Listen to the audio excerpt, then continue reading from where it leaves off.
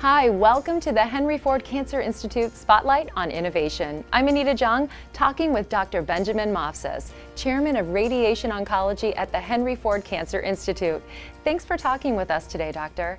Now, as one of the largest cancer programs in Michigan, the Henry Ford Cancer Institute is a recognized national leader with a unified team of experts in cancer research, clinical trials, precision medicine, and innovative treatments.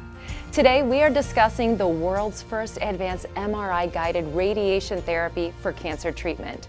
Dr. Movsas, could you please tell us more about this exciting new treatment? Sure.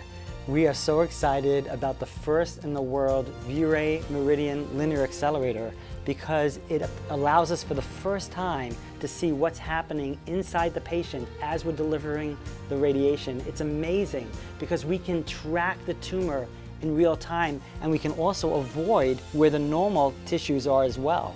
So what kinds of patients can benefit from this radiation therapy tool? We can treat patients with tumors anywhere in the body, from the head to the toe, and we're also very excited about treating areas that have a lot of motion, such as in the lung and also in the abdomen. And why is this treatment important, and how is it different from current radiation therapy?